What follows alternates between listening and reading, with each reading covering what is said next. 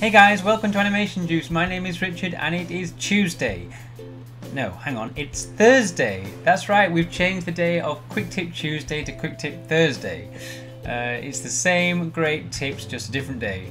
In this episode of Quick Tip Thursday, uh, I'm going to show you how to quickly add a shadow to your uh, characters, just to quickly uh, put a bit of lighting on. So let's jump in.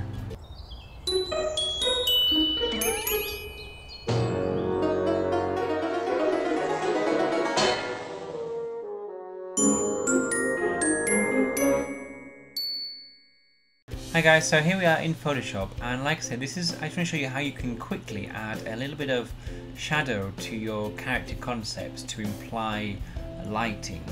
Uh, this is really helpful when you're in the concepting phase and everything is still quite rough and loose. Uh, adding a bit of shadow and implying the lighting uh, helps to describe the form of the character accurately to the audience or the client or the director. Uh, it adds another dimension and it adds just a lot of appeal to uh, those uh, early sketches. So what you need to do is, first of all, you need to have your character separated from the background. So you can see that I've got this uh, panda here separated from the background. Second thing that you need to do is you need to make a new layer and turn that layer to multiply in the uh, layer modes drop down and whack down the opacity to about I'm going to use 30% but it, it, will vary for, for character character. I like to use quite a low opacity ranging from between 30 and 50 in this example I'm going to use 30% what you then need to do is right click on that uh, new multiply layer and go down to create clipping mask. And what that's going to do is anything that we paint on this multiply layer is only going to show up um, based upon the opaque pixels on the layer below. So it's, it's basically using the character as a mask for the painting on the multiply layer. You'll, this will become quite clear in a second. So now that you've, cre you've created the multiply layer and you've made that multiply layer a clipping mask of the layer below, uh, what you need to do now is just grab a medium grey. I'm just going to eye drop this body grey of this panda here, just a medium grey. Um, and pick a, a, just a normal round brush. Make sure the opacity of the brush is 100% and then just start painting in a bit of the shadow let's say our lighting is coming from our top left.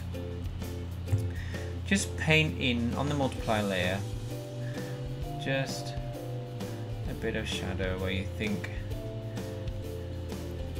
based on the form of your character and put a little bit under the hat.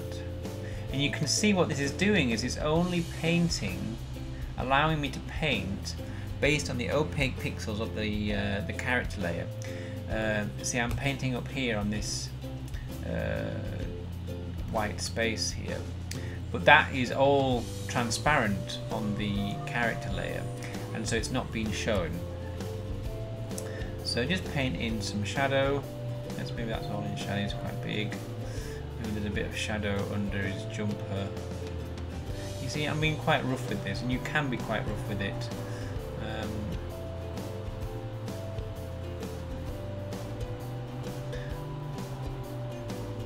can see how really quickly you can add a little bit of atmosphere, a little bit of uh, dimension to your character.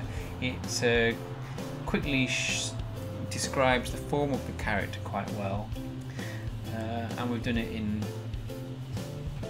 30 seconds. Uh, it's a really quick way to get a bit of lighting on. Now you'll see that when we unclip the mask, so if I right click on that uh, multiply layer and go release clipping mask, you'll see now that the uh, all of the areas that we painted that were transparent on the layer below now are shown. And when we again create a clipping mask they disappear. And only the uh, only the paint only the drawing that's rendered upon opaque pixels on the layer below are shown. I hope that's clear. You'll, because you'll see this is our character layer and all of this is transparent around there so when you create a clipping mask none of these transparent pixels will show only the stuff that you paint on this opaque character area will show with the clipping mask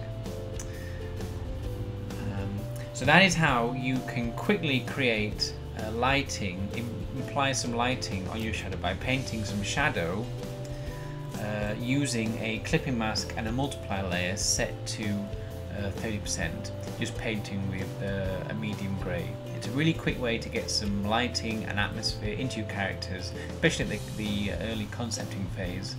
Um, so that's it.